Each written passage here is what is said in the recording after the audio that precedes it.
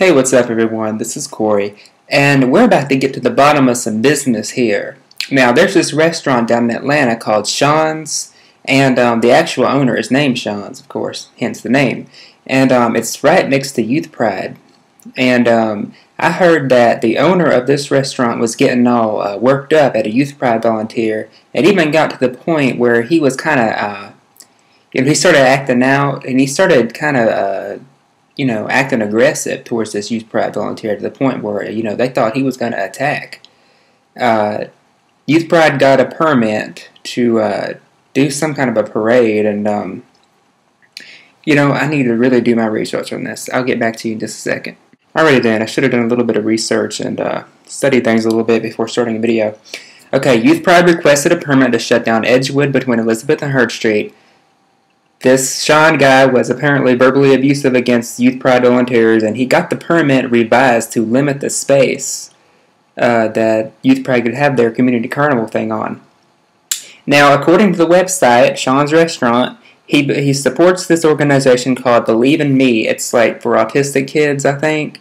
And he's also gone to culinary schools across Europe. So why in the hell is a man with this kind of education, who owns his own business, acting immature and threatening people? And just acting like a playground bully in kindergarten. I don't know. We're, we're about to call him and find out, and I'm about to give him a damn piece of my mind.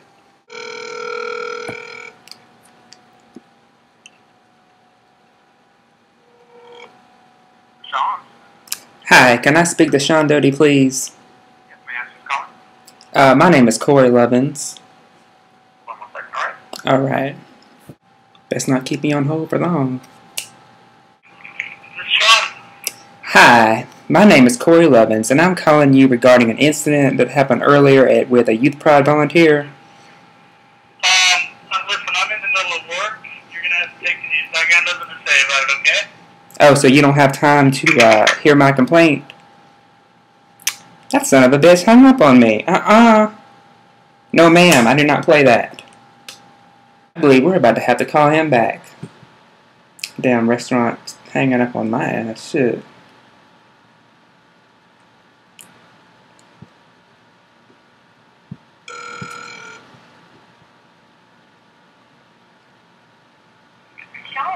Yes, I want to know why I was just hung up on. Um, what are you calling about? I was just talking to your uh, owner of your restaurant there, uh, trying to ask him a question about something, and he hung up on me. I'm also the owner, and we're in the middle of service right now, and we really don't have time to deal with this. Yeah, but what if I was a customer though, and I needed, and I had something to say?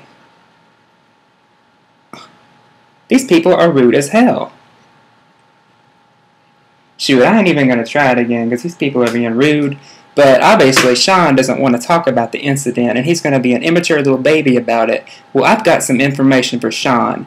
The way you verbally berated Youth Pride volunteers, you know, I may have acted like that when I was about 12 or 13 years old, but I eventually learned how to grow up and move above and beyond that kind of behavior.